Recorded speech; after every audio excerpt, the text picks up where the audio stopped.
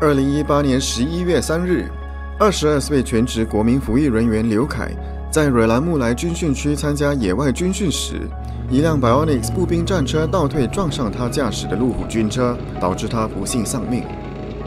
独立调查委员会的调查结果显示，事发前，因为路口有几辆参与军演的战车，Bionics 便停了下来，跟在 Bionics 后面的路虎军车也随即停下。路虎军车内的训练员指示刘凯超越 Bionics。刘凯向前行驶时，忽然听见前方传来枪声，立即停下。根据委员会的调查，此时路虎军车与 Bionics 的距离只有十九点八米，标准安全距离为三十米。接着，Bionics 为躲避敌方枪火而展开撤退行动。原本不在军车轨道中的 Bionics 打直，方便倒退。Bionics 倒退时。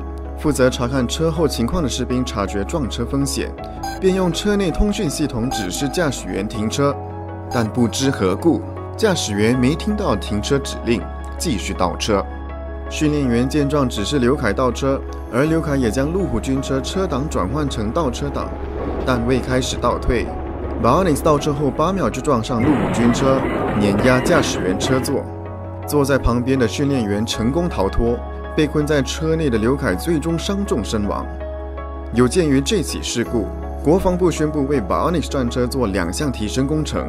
第一，Bionic 战车原本只有指挥官位置设有紧急喇叭按钮，如今后座舱增设两个相同按钮，让后座士兵察觉状况时能轻易启动警报，让驾驶员刹车。